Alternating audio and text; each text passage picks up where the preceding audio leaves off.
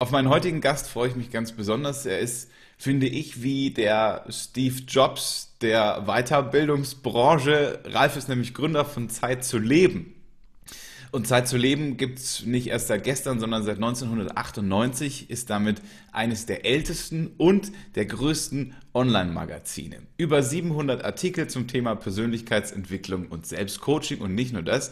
Ralf hat auch, Ralf hat auch zwei Bücher veröffentlicht. Einmal Entdecke deine Willenskraft und jetzt gerade in diesen Zeiten wahnsinnig wichtig, die Kunst in schwierigen Zeiten nicht durchzudrehen wollen wir natürlich drüber sprechen. Einige Menschen drehen ja gerade ziemlich durch. Aber mich interessiert auch der Mensch, Ralf. Vielleicht ist er auch irgendwann schon mal durchgedreht. Wenn ja, wo und wie lang? Und wie kam es überhaupt zu all dem, was heute da ist? Ich freue mich, dass es klappt. Hier ist Ralf Senftleben. Hallo. Ähm, nimm uns doch mal gleich direkt mit, wo alles begann. Wie war denn deine Kindheit? Wo kommst du her? Meine Kindheit. Oh, okay.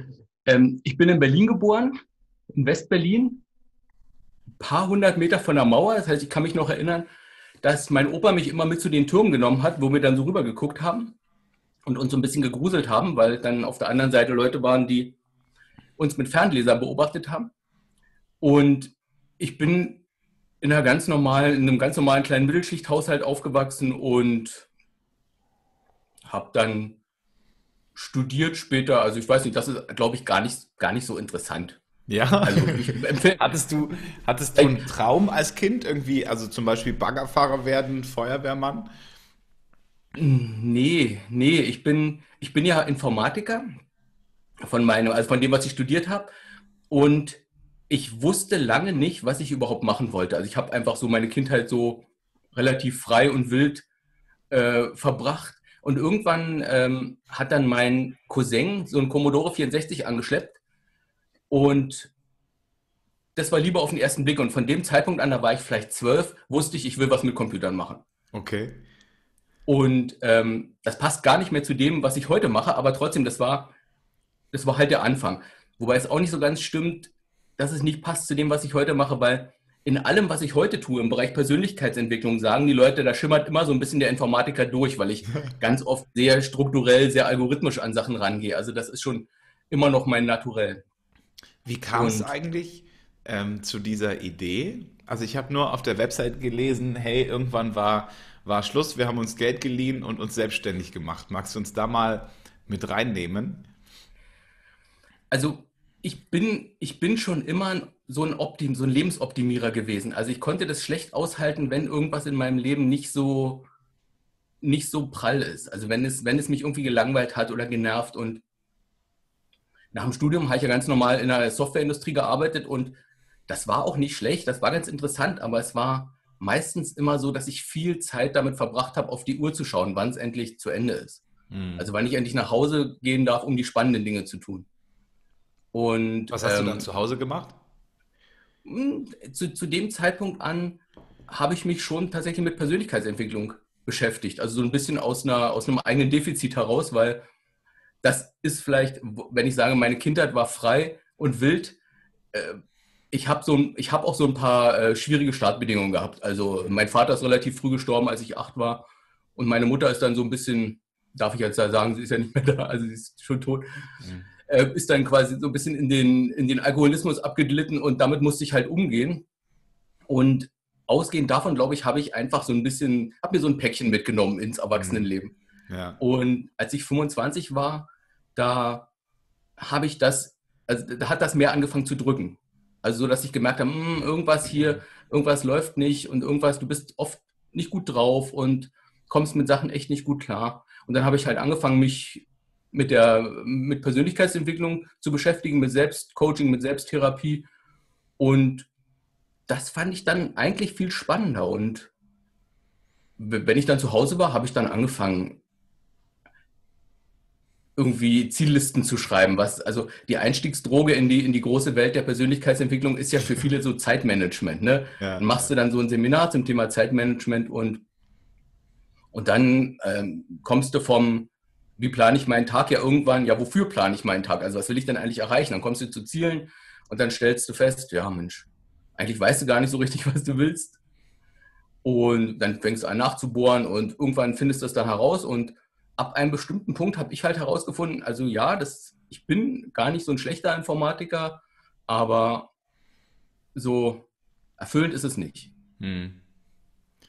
Ähm, hast du eigentlich, also sehr direkte Frage, aber hast du äh, irgendwann mit deiner Mama noch drüber sprechen können, was du dann für dich selber gelernt hattest?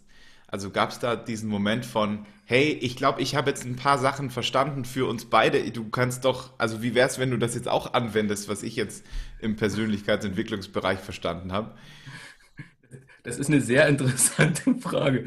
Ähm, nee, nee, konnte ich nicht, weil äh, das war eigentlich, also meine Eltern kamen schon so ein bisschen aus einer anderen Welt. Hm. Und alles, was so, wo es um um tiefergehende Dinge gibt, die wurden relativ virtuos weggeblockt. Ja. Also das ist, wenn, wenn du dann anfängst, über Dinge zu reden, die dich beschäftigen und die dich bewegen, dann landest du wieder ganz schnell beim Wetter und bei dem, was Tante Erna gestern passiert ist. Also das ist nicht, das ist nicht drin gewesen. Das hm. ist nicht.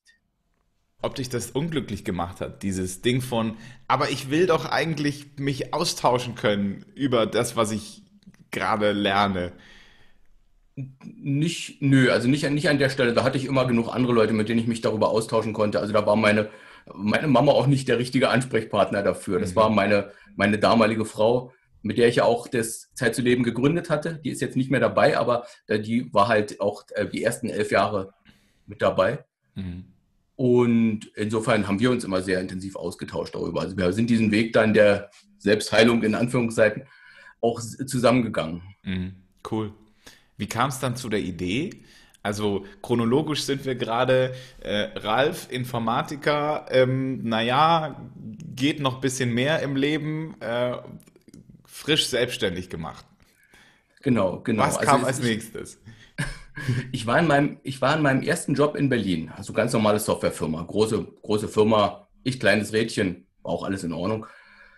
Irgendwie ähm, hatte ich dann mal Streit mit meinem Projektleiter, und habe mich dann dazu entschlossen, ich orientiere mich jetzt anders um, habe mir einen neuen Job in Hamburg gesucht. Es war auch einfach, weil Dotcom-Blase, da war man als Informatiker halt ein Star, weil man halt überall, man musste also wirklich nur sagen, ich will einen neuen Job und man hatte einen. Also das war schon mhm. eine, eine, sehr interessante Zeit. Und dann habe ich mich in, in Hamburg beworben, habe den, hab den Job auch bekommen und habe dann aber gemerkt, dass sich eigentlich nichts geändert hat. Das Themenfeld war noch interessanter, es war irgendwie noch besser bezahlt, aber es war eigentlich wieder das Gleiche. Ich habe viel auf die Uhr geguckt. Und irgendwann, dann ging diese ähm, die Internetzeit gerade so richtig los im Webseitenbereich. Und dann habe ich irgendwann mal gelesen, dass Netscape ganz viel Geld, das, ist, das sind die, die den ersten Internetbrowser gemacht haben, mhm. dass die ganz viel Geld mit Werbung auf ihrer Seite verdienen. Da dachte ich, hm, das ist ja interessant. Das will ich auch. Das ist doch cool. Du hast eine Webseite und andere Leute bezahlen dich dafür, dass sie die Werbung auf deine Seite machen können. Das fand ich toll, das Konzept. Mhm. Und dann habe ich mit meiner damaligen Frau gesprochen und habe gesagt, du, wie sieht's aus? Du bist auch gerade mit dem Studium fertig. Wollen wir nicht eine Webseite aufbauen und dann von der Werbung leben? Und hat sie gesagt, ja, machen wir. Wo? Welches Thema? Naja, Persönlichkeitsentwicklung, klar. Und so, das war die, die Geburtsstunde von, von Zeit zu leben. Und wir konnten, also das nur mal als nette Anmerkung, wir konnten nie, nicht einen Augenblick jemals von Werbung leben bei der Website. Das ging immer irgendwie anders. Aber das, der ursprüngliche Plan ist halt nie aufgegangen, obwohl wir am Anfang echt schwer gerudert haben in der Hinsicht. Mhm. Ähm, und ich meine, wenn man jetzt mal zurückrechnet, das sind jetzt mittlerweile 23 Jahre geworden, gell? Genau, ja. Was? Ja, das ist. Was? Ja, ich wollte dich nicht unterbrechen. Nö, nö, es ist. Ähm, das ist eine, das ist ein wilder Ritt gewesen irgendwie auch. Also äh, relativ, also so wild kann man eigentlich auch gar nicht sagen, aber es ist eine, es ist eine lange Zeit gewesen von, von damals bis heute mit viel Neuerfinden, mit viel Ändern, mit viel Businessmodelle auch überdenken und neu machen und rumexperimentieren. Also das ist eigentlich ein ziemlich gutes Beispiel, dass es sich durchaus lohnt, mit irgendeiner Idee zu starten, weil wenn die sich nicht, wenn die nicht funktioniert, und wenn man da nicht zu sehr anhaftet an der ursprünglichen Idee, dann nimmt man halt das, was man hat und überlegt sich was Neues. Und irgendwann stößt man dann. Also es ist, ich habe so das Gefühl, im Geschäftsleben, obwohl da man das in, in, in den meisten Büchern nicht so liest übers, übers Geschäftsleben, über Erfolg im Geschäftsleben, da ist doch deutlich mehr rumprobieren und auf die Nase fallen und wieder aufstehen und äh, bis man per, meistens per Glück eine Goldader getroffen hat. Mhm. Und dann hoff, bleibt man hoffentlich bei dieser Goldader, solange bis sie dann ausgeschöpft ist. Mhm. Was war bei dir ähm, so eine herausfordernde Phase? Weil wir haben ja auch einige junge Zuhörer hier im Podcast, die sich gerade frisch selbstständig gemacht haben, die vielleicht überhaupt gar keinen Plan mehr haben, wie sie weitermachen sollen und, und, und. Ähm, was waren so deine challenging Phasen im, im Unternehmertum von Zeit zu leben? Naja, äh, du, du musst schon viel Unsicherheit aushalten. Ne? Gerade am Anfang, bis sich so alles gesettelt hat, das ist, das ist manchmal nicht einfach gewesen. Und wir hatten das Glück, dass wir, während wir unser Online-Magazin hochgezogen haben, auch noch als Webagentur gearbeitet haben. Okay. Das heißt, wir hatten eigentlich zwei Jobs. Was, das, das, war wirklich, das war anstrengend. Aber gut, mit 30 macht man das. Also mhm. heute würde ich das, glaube ich, gar nicht mehr schaffen. Aber in dem Alter, da haben wir das, haben wir das gewuppt. Da hatten wir unsere 90, 100 Stunden Wochen und das war in Ordnung. Wir hatten keine Kinder. Das war, also wir konnten uns wirklich Vollzeit, wir sind frisch in eine, frische, in eine neue Stadt gezogen. Das heißt, wir hatten auch keine Freunde und ähm, haben uns halt die ganze Zeit aufs Business konzentriert und dann haben wir unsere Webdesign-Aufträge abgearbeitet. Die haben uns über die erste Phase ähm, vom Umsatz gerettet, weil wir mussten dann halt in den ersten zwei Jahren noch kein Geld mit dem Online-Magazin passieren. Nach zwei Jahren konnten wir davon leben. Insofern haben wir dann die Webdesign-Aufträge sein gelassen und die, ja, man muss es, also Herausforderung, du musst wirklich loslassen können, meiner Meinung nach, deine Ideen, wenn sie sich als schlecht erwiesen haben. Also so wie mit der, wir leben von der Werbung ist es, wir waren nie groß genug, dass wir wirklich einen, für, für andere ein attraktiver Werbeträger waren. Also jedenfalls nicht im großen Stil. Nicht so, dass so viel Umsatz reingekommen wäre, dass wir davon hätten leben können. Es war immer, mhm. es, es hat uns getragen ein bisschen über die ersten Jahre, aber nie, nie, dass wir dadurch äh, reich geworden wären. Also mhm. was auch nie das, das Ziel jetzt war, aber ja. trotzdem, so ein bisschen Geld ist ja schon nett. Ja. Gab es so einen Moment, wo du gesagt hast, ey, ich mache noch einen Tag und dann schließe ich hier die Bude zu, ich, ich mag nicht mehr. Regelmäßig, natürlich. Das gehört auch dazu. Immer wieder dieses, äh, wenn jetzt, äh, das ist also so ein geflügeltes Wort ist, wenn jetzt jemand kommen würde und würde mir jetzt hier 5 Millionen Euro auf den, damals noch Mark, oder 5 mhm. Millionen Euro auf den Tisch legen, dann würde ich den ganzen Scheiß verkaufen. Habe ich, in hab ich in den letzten 23 Jahren mit Sicherheit, also so an Situationen, so fünf bis zehn Mal gedacht. Okay. Das ist, ja, wenn das ist ja noch eine ganz gute lief, Quote. Ja, aber es ist noch nie jemand gekommen, der mir 5 Millionen Euro geboten hat. Insofern stellt, war das eine relativ ähm, theoretische Frage. Vielleicht kommt ja jetzt einer, der den Podcast hört. Wer weiß, vielleicht, ich, aber gerade bin ich auch gar nicht in der Stimmung. Gibt es was, was dich ähm, morgens aus dem Bett zieht, wo du sagst, äh, ich weiß, warum ich aufstehe ja, wenn, wenn du von den Kindern geweckt wirst, dann weißt du das. ähm, ja, du, ich bin, ich, ich habe das, ich habe ja das große Privileg, dass ich eigentlich in meinem Leben von dem Zeitpunkt an, wo wir uns selbstständig gemacht haben, immer das gemacht habe, was ich wollte. Mhm. Und selbst wenn mir etwas in meinem, in meinem Business, manchmal fängst du ja Sachen an, die findest du toll, und dann merkst du nach zwei Jahren, irgendwie jetzt äh, hast es, jetzt hast du es ausgelebt oder jetzt ist es genug. Mhm. Jetzt interessiert es dich auch nicht mehr so. Und ich konnte das immer dann sagen, okay, dann machst du jetzt halt was Neues. Dann verkaufst du das oder schiebst das jemand anders zu oder lässt, stampfst das einfach ein und machst was Neues. Und ich habe eigentlich immer ein Projekt, was mich morgens aus dem Bett treibt, wo ich aufwache und sage, ja Mensch, spannend, da kannst du heute dran arbeiten. Das ist mhm. toll. Das ist aber nicht immer das Gleiche. Das geht eigentlich immer aber um um Kreativität und um Gestalten und um Nachdenken und um Konzepte machen und sich Dinge ausdenken, die interessant sein könnten oder irgendwas auch nur besser zu verstehen, irgendein Modell besser zu verstehen oder irgendeine sich, sich irgendwas auszudenken, was für mich selbst und für andere irgendwie interessant und nützlich sein könnte im mhm. Bereich Persönlichkeitsentwicklung. Mhm. Wie schön. Ne? Ja. Also du machst dein eigenes Selbstcoaching quasi immer noch Schritt für Schritt, während alle anderen äh, auch davon profitieren und wieder andersrum und so. Oder? Das, das, das, das, war immer, das war immer mein Weg. Wenn du, also ich habe in meinem, in meinem Leben viele, viele, viele Bücher über Businessentwicklung und so gelesen. Und ähm, weil ich halt immer versuche zu verstehen, wie irgendwas funktioniert, auch wie Erfolg funktioniert. Und wenn du jetzt ein Buch über, über Geschäftsentwicklung liest, dann gibt es ja so zwei grundsätzliche Herangehensweise an so ein Geschäft. Das eine ist, ich suche mir eine Zielgruppe aus, ich gucke, was die wollen und ich liefere denen mit meinen Möglichkeiten das, was sie gerne wollen. Das ist dieser konzentrierte Blick. Mhm.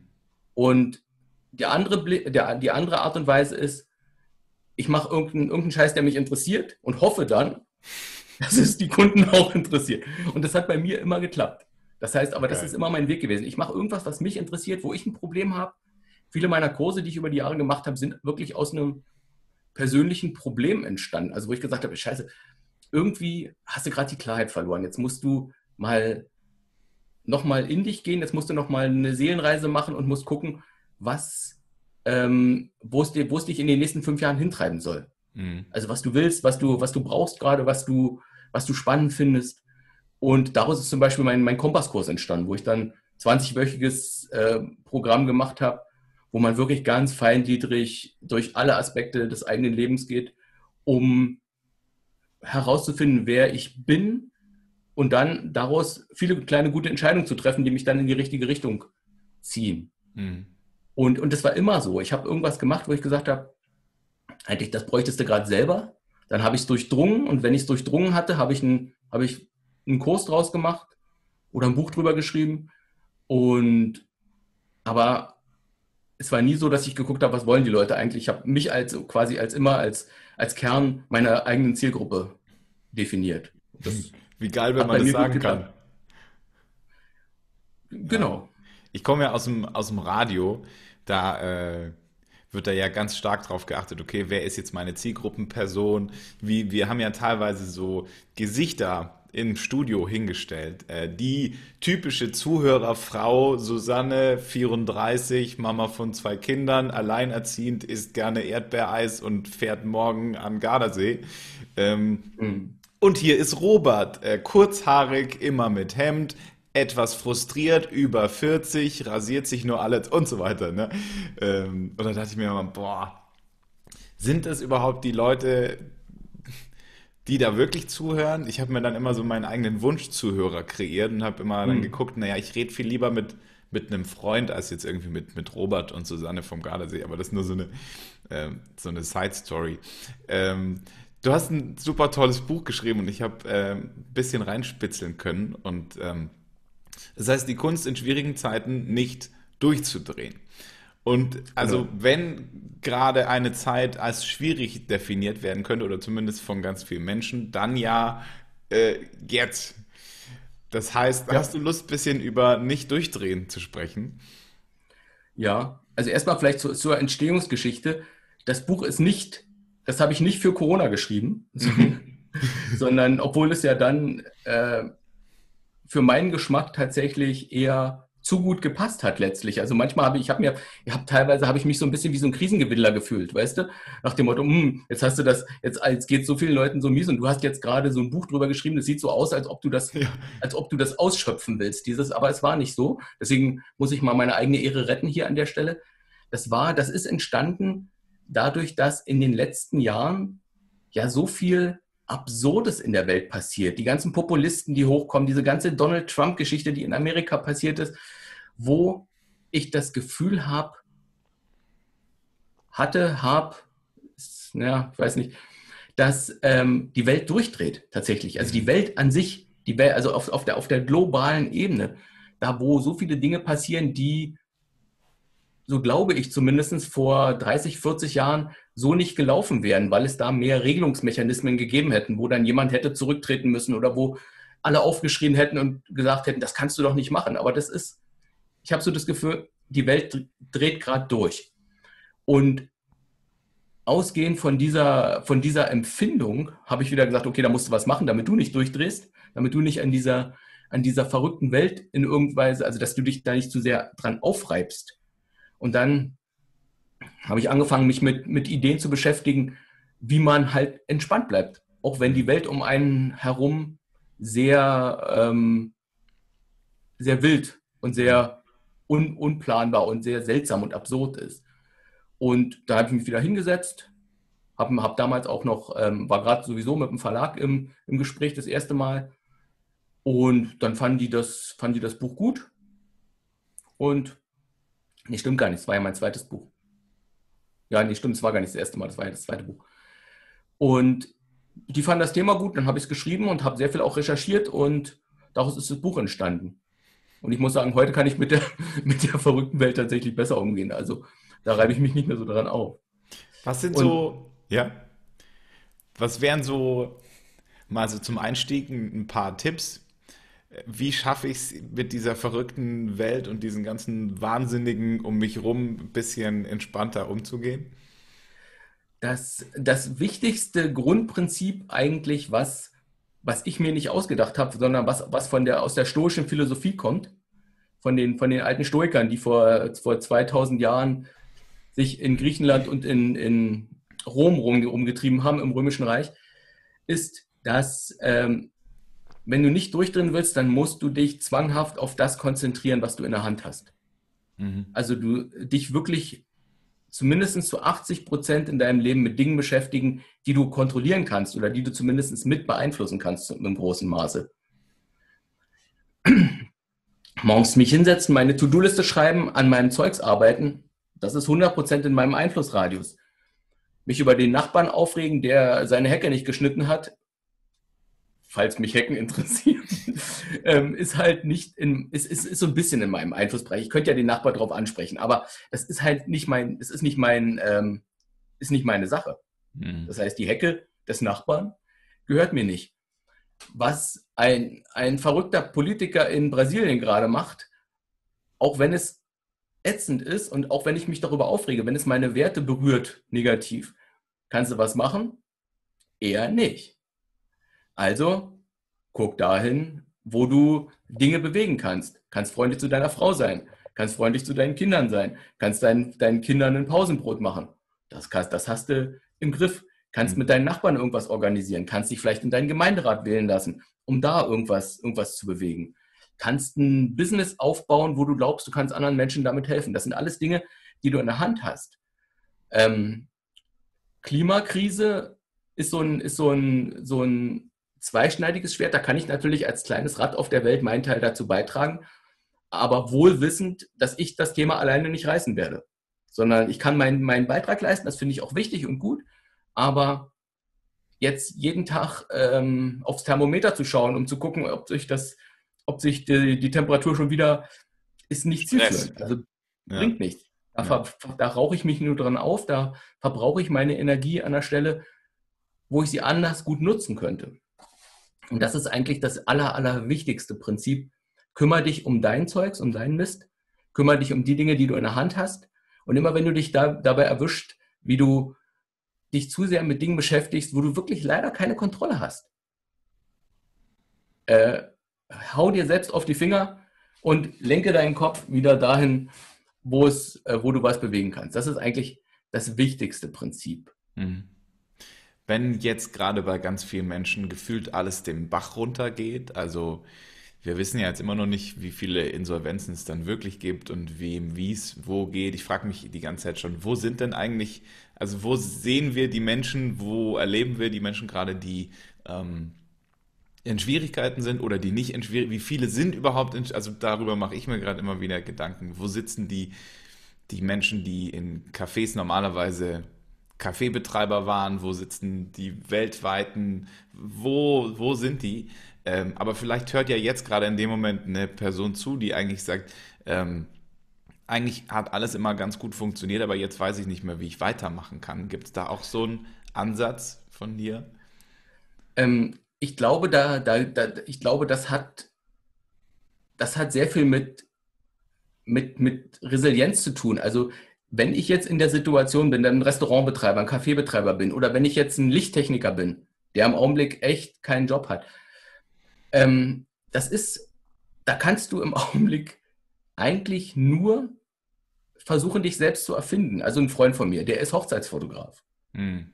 Und ein guter Hochzeitsfotograf. Immer ausgebucht, immer volle Auftragsbücher, teilweise so weit, dass er immer gestöhnt hat, oh, ich habe in diesem, ich habe in diesem Jahr irgendwie fünf freie Wochenenden, wo ich nicht in irgendwelchen Kirchen, also der gesagt hat, ja, ich verdiene damit mein Geld und das ist auch gut so. Und aber es ist schon, ich bin manchmal ein bisschen zu gut ausgebucht.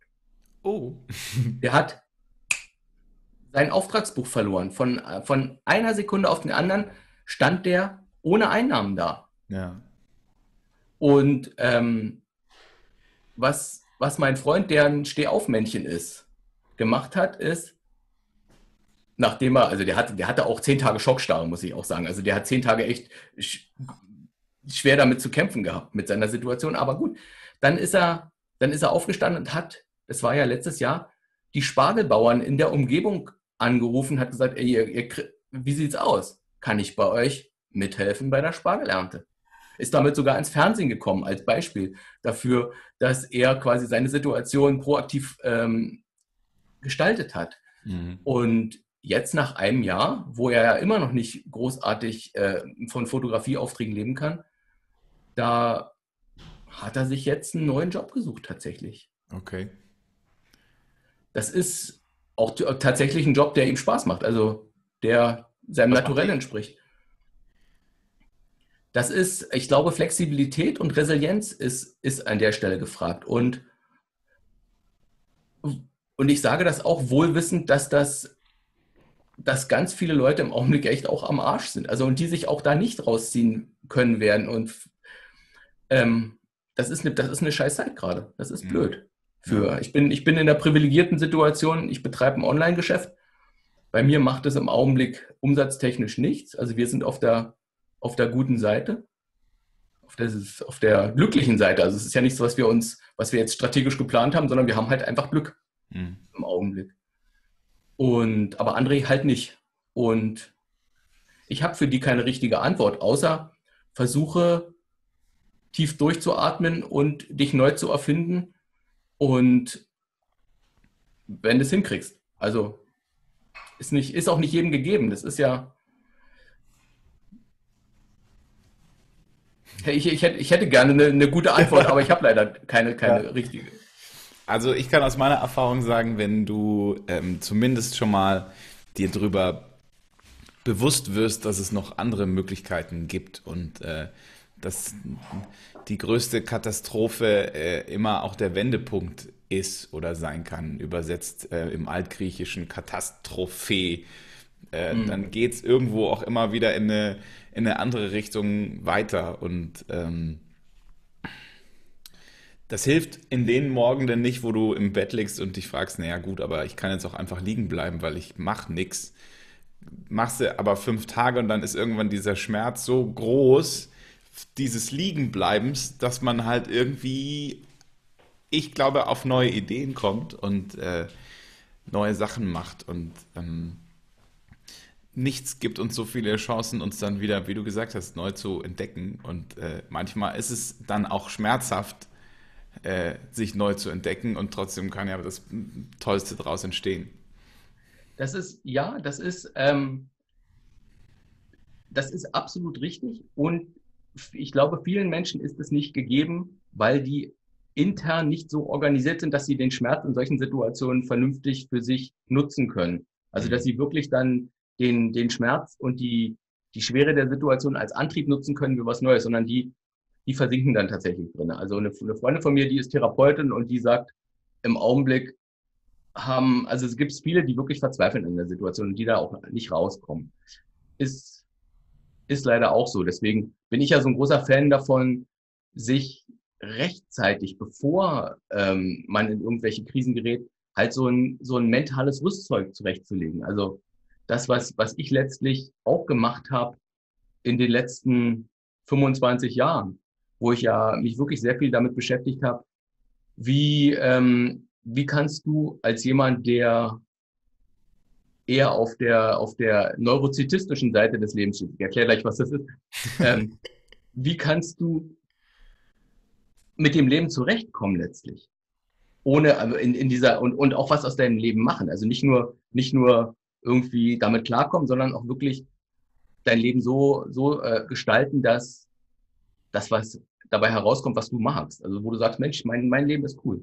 Mhm. Und mit neurozitistisch meine ich, es gibt ja, es gibt ja ein, ein Persönlichkeitsmodell, The Big Five, da gibt es eben, da, da werden Menschen einsortiert in introvertiert, ex, extrovertiert und offen für neue Erfahrungen oder ähm, nicht so offen für neue Erfahrungen. Und ein Wert ist oder ein, ein Kriterium ist da neurozitistisch. Und das bedeutet, wenn ich Neuro hoch auf der Neurozitismus-Skala bin, dann komme ich einfach nicht gut mit Schmerz zurecht. Dann werde ich, dann, es gibt Menschen, neben, gegen, neben denen kann eine Bombe einschlagen und die bleiben ganz entspannt. Und es gibt Menschen, die haut das komplett weg und die sind dann traumatisiert und die, die, also neurozitistische Menschen sind, sind anfälliger für jede Form von psychischen Krankheiten. Also die kommen einfach mit dem Druck und mit dem Stress des Lebens nicht gut zurecht. Mhm. Und blöderweise gehöre ich zu denen. Also ich bin sehr hoch auf dieser, und das ist auch der Grund, warum ich mich immer damit beschäftigt habe, mhm. wie ich damit klarkomme. Und das müssten im Prinzip viel mehr Leute machen. Mhm. Dann würden sie auch in, wenn dann die Krise wirklich kommt, halt besser damit umgehen können. Aber solange alles gut läuft, beschäftigt sich ja keiner mit, ähm, mit Themen wie, wie kann ich meine Gefühle regulieren oder wie kann ich meine Achtsamkeit stärken, kann ich meine, meine Resilienz erhöhen. Das sind ja eher Themen, mit denen beschäftige ich mich eigentlich erst, wenn ich schon mal in so eine Schieflage geraten bin. Und dann ist es meistens schon so ein mini bisschen zu spät, ne? Ja. Ja. Ähm, ich fand es so sympathisch bei dir, dass du auch so, so ganz offen über, über Glück schreibst, weil es gibt ja ganz viele, die ähm, sagen, hey, und so wirst du jetzt endlich glücklich und jetzt mach nur noch das und dann hast du endlich und dann hast du die Glücksformel des Lebens verstanden.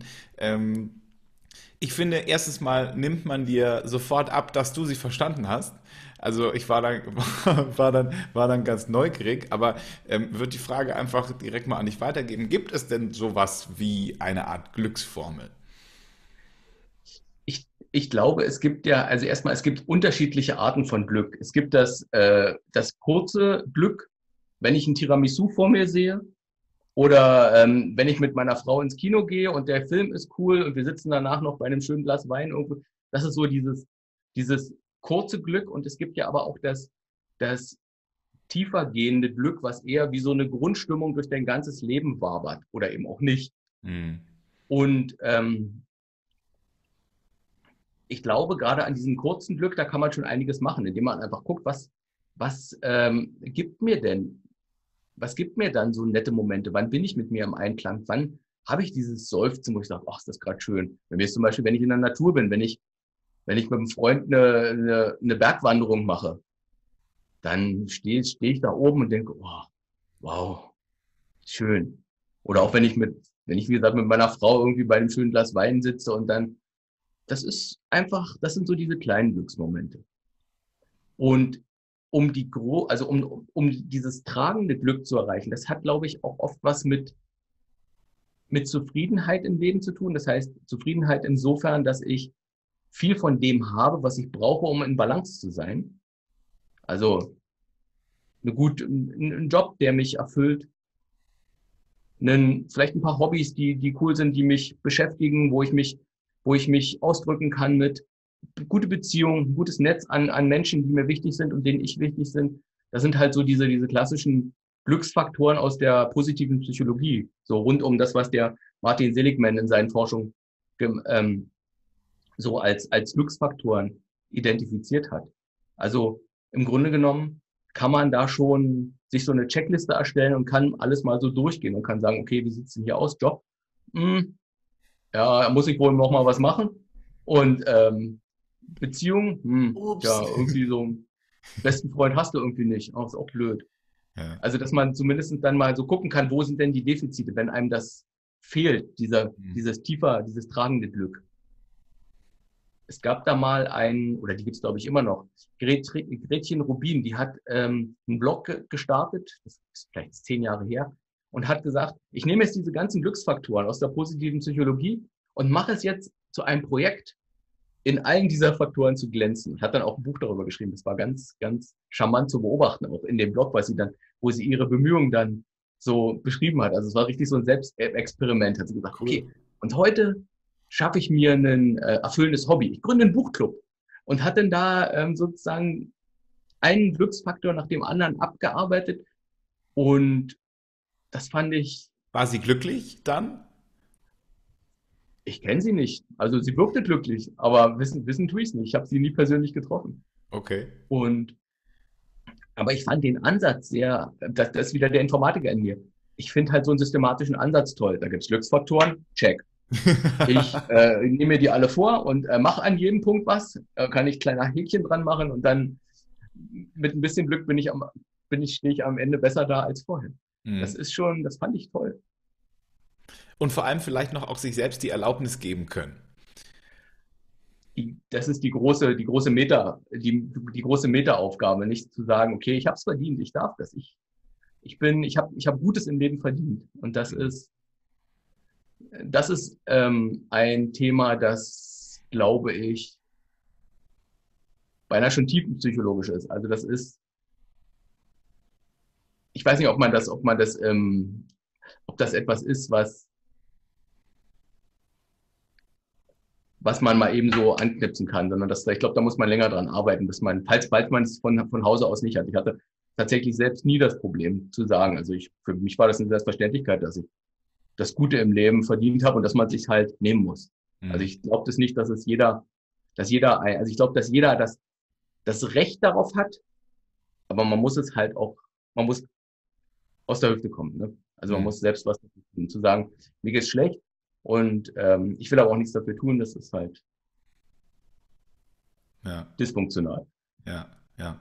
Aber spannend, dass du das gesagt hast. Also vor allem, weil es gibt ja so viele Menschen da, da ist genau das dann der entscheidende Lichtschalter. Ja, also allein, die erzählen dir alles und du antwortest denen, naja, aber du darfst dir doch erlauben, auch glücklich zu sein. Und dann ist es so ein Puff. Ah, ach so, okay, das, äh, das äh, wusste ich gar nicht oder habe ich jetzt ja. gar nicht gemerkt. Und, ähm, ja.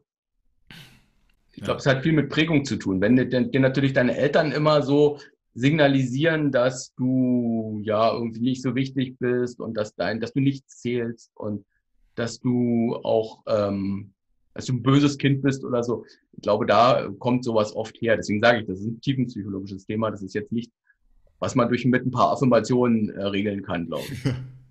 ja. Ähm, wie kann man denn mit dir im Kontakt bleiben? Also du hast ja so viele, so viele verschiedene tolle ähm, Kurse. Ich habe mich für äh, einen Newsletter, glaube ich, auch angemeldet. Ähm, zumindest hatte ich heute Nacht, so kurz vorm ins Bett gehen, noch eine E-Mail von Ralf. Das hat mich sehr gefreut. Was gibt es denn so für, für Möglichkeiten? Magst du uns da noch so, ein, so einen kleinen Überblick geben, was man alles bei Zeit zu leben, R-leben kann? ähm, ich glaube, die wichtigste Anlaufstelle ist tatsächlich unsere Webseite www.zeitzuleben.de. Wir experimentieren auch ein bisschen mit sozialen Medien rum, wobei wir da nie so richtig den, dann, also wir, wir, wir haben einen Instagram-Account und wir haben auch einen Facebook, aber die werden nicht, die werden nicht so richtig mit Liebe gepflegt, sage ich mal. Das ist, und Twittern tun wir auch nicht. Also ich glaube, die Webseite ist das Beste, was wir, was wir zu bieten haben an Anlaufstellen. Und da gibt es meine Bücher. Die Ach so, stimmt, klar. Verlinken wir auch in den Show Notes übrigens. Oh ja, das ist schön. Aktueller Kurs, Lieblingskurs von Ralf. Mein, mein aktueller, also wir, wir haben gerade eine, eine Challenge am Laufen. Wir machen bei uns immer so Challenges, wo wir die, ähm, wo wir die Menschen 30 Tage an die Hand nehmen und jeden Tag oder fünfmal die Woche, je nachdem wie die Challenge aufgebaut ist, eine kleine Aufgabe stellen. Weil viele Themen lassen sich besser organisieren, wenn sie relativ auf einen absehbaren Zeitraum äh, komprimiert sind und wenn, wenn man sie in kleine Einheiten zerhackt. Und da haben wir gerade eine Challenge, die heißt Ich für uns, wo es darum geht, meine Partnerschaft zu nehmen und zu sagen, so, ich, ich übernehme jetzt hier mal die Verantwortung, damit es wieder läuft. Also damit es praktisch, damit unsere, unsere Partnerschaft wieder lebendiger wird und ähm, netter. Ach toll, cool. Und das, das ist gerade unser, unser neuestes Kind. Das läuft gerade jetzt zu der Zeit. Toll. Ähm, allerletzte Frage.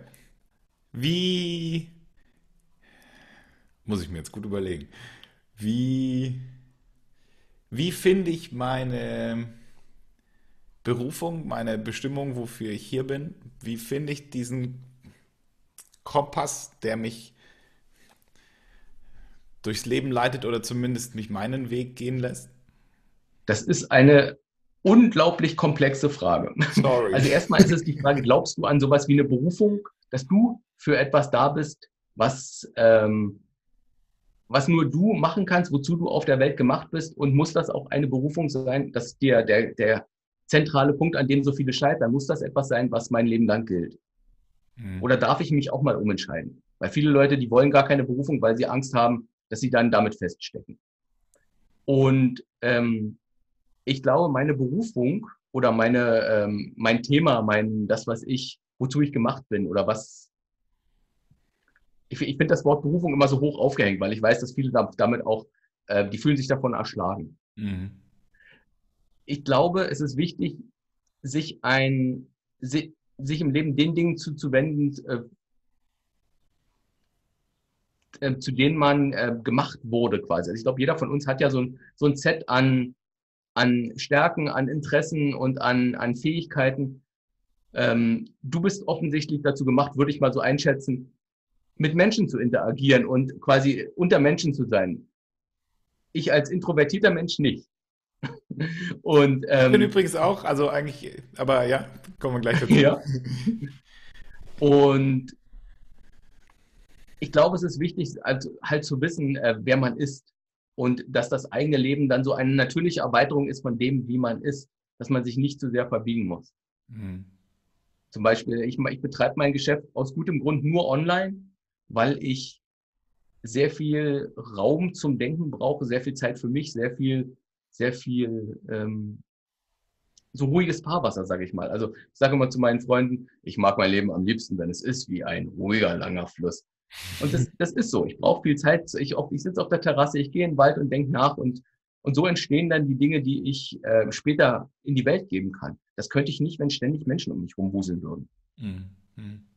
Und das soll so eine Dinge, sowas ist halt wichtig zu herauszufinden über sich selber. Und das ist ein Prozess. Das ist nichts, was du, was du mal an einem Wochenende, glaube ich, machen kannst. Da kannst du so die Grundlagen, so die grobe Richtung ich glaube, es ist die eigene Bestimmung oder Berufung zu finden, das ist dir Gedanken machen, was über dich selbst herausfinden, die Erkenntnisse in der Welt ausprobieren, gucken, was passiert, gucken, ob es stimmt oder nicht.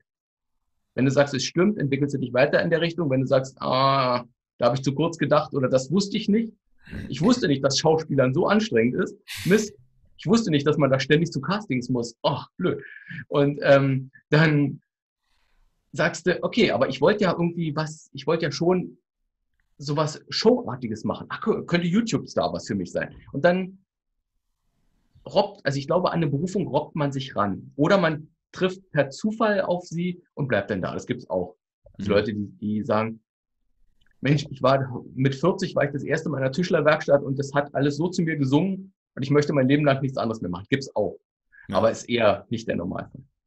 Aber klingt ja dann auch ganz romantisch irgendwie. Ich war 20 Jahre lang Bibliothekar und plötzlich habe ich zum ersten Mal einen Nagel in ein Holzbrett gehauen und dann war ganz klar, ich werde Tischler. Hui. Genau. Gibt's. sowas, sowas gibt's. Aber es ist nicht, also ich glaube, da sollte man sich nicht drauf verlassen, sondern ja. wenn man, ähm, wenn man diesen Prozess der, der Ich-Werdung oder der, der Selbstfindung steuern will, dann ist es gut, sich viel Gedanken zu machen, sich selbst sehr zu beobachten, vielleicht auch mit anderen zu sprechen, die einen kennen weil manche Dinge sieht man halt auch selbst nicht. Und dann ähm, auszuprobieren. Hm. Den Mut zu haben, auch mal ein Feld zu verlassen und zu sagen, ja, Versicherungsvertreter ist schon ein krisensicherer Job. Aber eigentlich mag ich keine Formulare. Und deswegen mache ich jetzt lieber was anderes. Ja, ja. Ich habe das, äh, ich habe äh, in den letzten Wochen, Monaten, ich habe auch meinen ersten eigenen Online-Kurs ähm, gebastelt. Ah. Und äh, habe lernen dürfen, was das alles für ein Try-and-Error-Prozess ist. Und hm.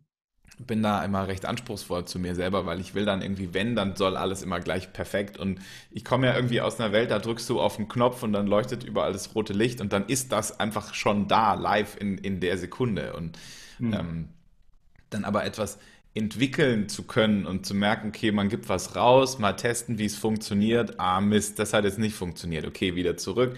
Äh, naja, aber die Variante könnte ja noch funktionieren. Okay, vielleicht ist es da eine Strategie und das im Prinzip, und das war so das, was ich dabei gelernt habe, passiert nichts, was irgendwie lebensbedrohlich wäre. Also auch wenn es mal überhaupt voll in die Hose geht, dann passiert nichts.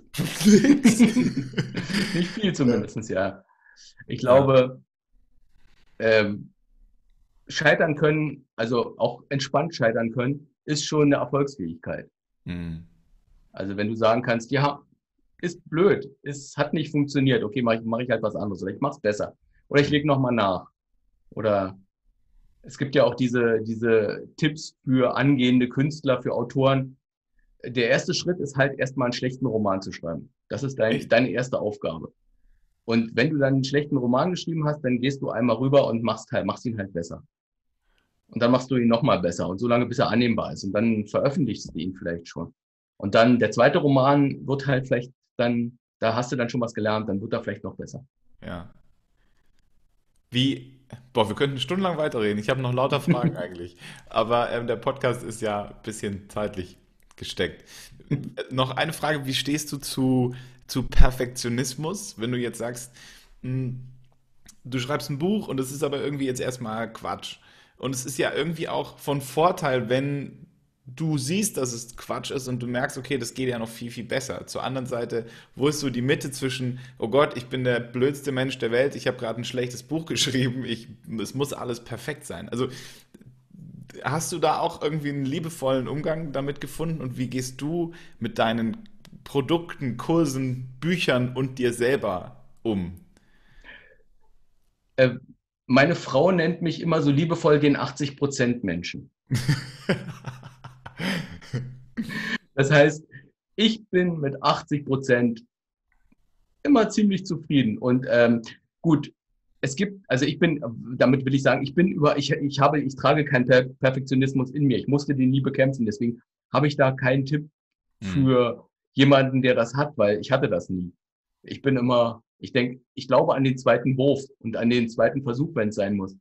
Und ich bin ja auch kein Herzchirurg. Also wenn ich von meinem Herzchirurg finde ich die, also wenn ich, wenn ich am Herzen operiert werden sollte, dann fände ich diese Einstellung blöd, muss ich sagen. Also ich möchte nicht, dass mein Herzchirurg ein 80 Prozent Mensch ist. Der soll bitte ein 100 Prozent Mensch sein. Aber, und, und, und der Pilot, der das Flugzeug fliegt, in dem ich sitze, bitte auch. Also es gibt so ein paar Bereiche im Leben, da glaube ich, ist, sind 100 Prozent schon gut. Aber in den Bereichen bewege ich mich nicht. Also ich komme gut mit und ich habe noch nie einen Unterschied gemacht. Ich glaube, dass, also ich bin großer Verfechter der, der 80-20-Regel. Ich weiß nicht, ob du die kennst, dass quasi ähm, 20 Prozent von allem, was man tut, 80 Prozent des Erfolges ausmachen. Und umgekehrt dann auch die letzten 20 Prozent, die man in etwas investiert, 80 Prozent des Aufwands ausmachen. Das heißt, auf den letzten Metern ähm, verbraucht man immer extrem viel Zeit und ähm, das Leben ist kurz. Ich glaube, mhm. lieber mehr. Also ich glaube, ich glaube da eher an Quantität als an Perfektion. Dann mhm. lieber zwei Bücher schreiben, zwei halbwegs in Ordnung, also zwei Bücher, die halbwegs in Ordnung sind, als ein tolles, an dem ich sehr lange gebastelt habe, was dann vielleicht auch nur in Ordnung ist. Ja, und ein One-Hit-Wonder wird und danach weißt ja. du nicht mehr, wie es weitergeht. Ja. Ähm, ich danke dir für deine Zeit. Sehr gern. Hat total Spaß gemacht. Wir, wir schicken die ähm, alle Zeit zu leben Links in die Shownotes in diesem in diesem Podcast-Interview, äh, beziehungsweise hier in Spotify, iTunes. Übrigens, äh, falls dir, lieber Zuhörer, das gefallen hat, ähm, dann bewerte uns doch gerne mit fünf Sternen, dann wird es hochgerankt und dann können wir immer mehr Menschen inspirieren. Ansonsten danke dir, lieber Ralf, und ähm, ja, bis hoffentlich bald. Ja, prima. Es hat Spaß gemacht. Übrigens Tschüss. auch, auch, ich bin äh, auch eigentlich eher introvertiert. Also ähm, das äh, kam, kam dann so Schritt für Schritt dazu. Also auch dieser, dieser Spaß. Aber ich habe ganz große introvertierte Teile äh, in mir drin und das ist, das ist erstaunlich. Also, weil ich hätte nicht gedacht, dass man das als Moderator kann, also dass man das aushalten hätte kann. Hätte ich auch nicht gedacht. okay. ja. Okay. Ähm, ja. Bis bald. Prima. Denn danke, ne? Tschüss. Tschüss.